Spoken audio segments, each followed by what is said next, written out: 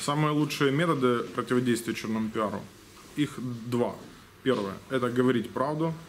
И второе – это законные методы ограничения. Я уже подал соответствующие иски в суд против э, человека, который э, нанят другим, так сказать, кандидатом э, против меня. Но, как оказалось, и вчера это были подтверждения тому, что административная машина, государство защищает этого человека, и просто судебные иски под разными поводами либо затягиваются, либо не принимаются. В том числе і міліція також е, е, сидить сложа руки. Плохо.